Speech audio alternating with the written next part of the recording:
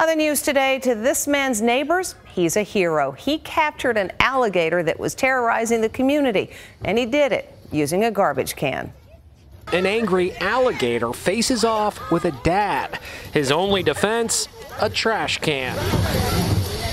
The gator hisses as he's cornered by the fearless homeowner. Hey, let me know when they ain't going inside. Let me know. Onlookers can't believe what they're seeing. Then, the decisive moment. The gator is going nuts, thrashing around.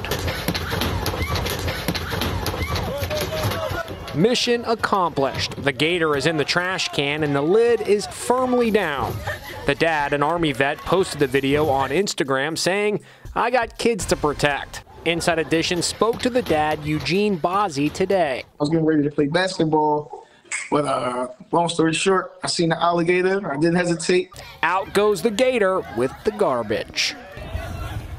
After the gator was in the can, Mr. Bozzi wheeled it about 400 yards to a pond and very carefully released it, and off it went.